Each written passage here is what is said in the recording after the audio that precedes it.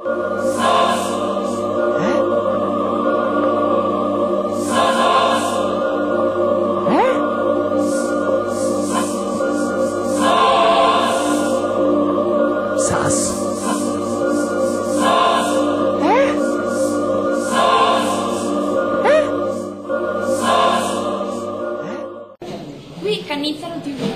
Si dice al Cannizzaro.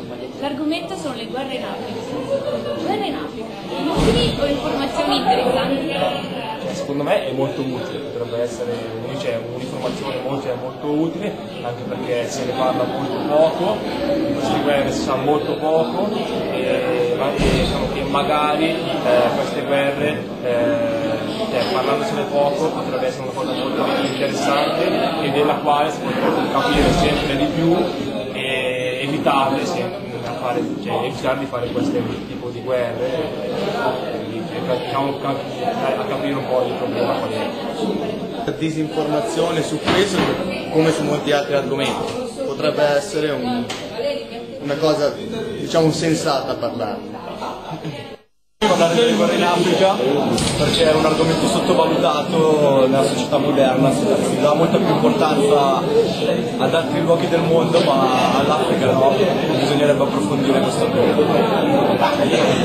Secondo me è utilissimo parlare delle guerre in Africa perché è un argomento poco trattato dai giovani, comunque va la cultura generale anche su altri popoli.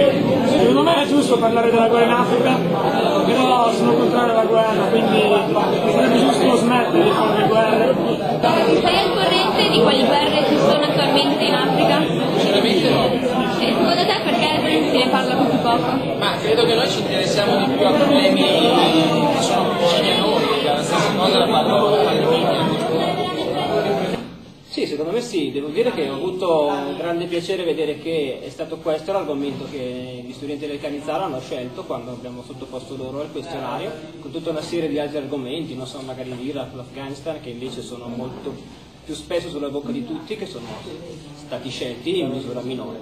Secondo me è un segno che i giovani in realtà hanno più attenzione a questi temi rispetto a quanto noi adulti. Sì, la conoscenza riguardo le guerre a livello globale mondiale, sì, il problema è che ogni, ogni giorno c'è una nuova, quindi non tutte vengono continuamente presentate a livello televisivo, forse organizzato può darsi.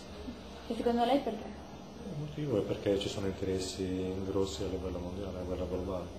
Secondo me è molto importante perché appunto è giusto conoscere la situazione non solo del nostro paese, in questo caso continente, e essere al corrente di, di ciò che succede fuori dalla nostra città e fuori da ciò che noi vediamo tutti i giorni.